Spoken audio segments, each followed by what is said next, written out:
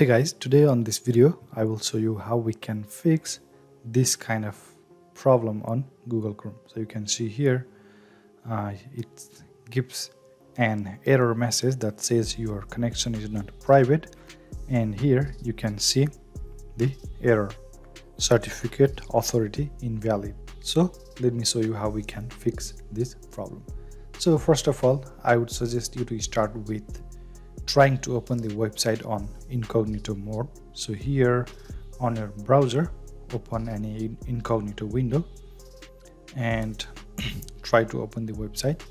So here I'm just taking this as an example so it won't open in incognito mode because this website is designed to test um, this certificate. Now you you can try the website that you are trying to open on incognito mode and if it's still not working then you can try um, by changing the DNS server. So for that press Windows and R on your keyboard and here type ncpa.cpl click OK.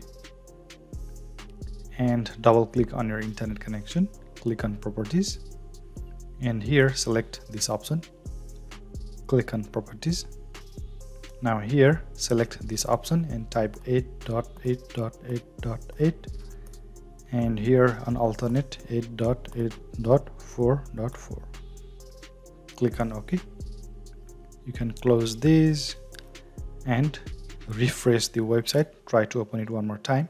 If you are still getting the problem then you can try to reset your browser. So to reset your browser you can click here and click on settings. And here search for reset. And here you can see restore settings to their original defaults. So you can reset settings and uh, try to refresh the website one more time. And if the problem is still the same then the last option would be to proceed with this not secure website. So for that i don't suggest you to submit your password or any confidential information like credit cards, social security number. As you can see here, the browser is warning you to not submit those information on such website.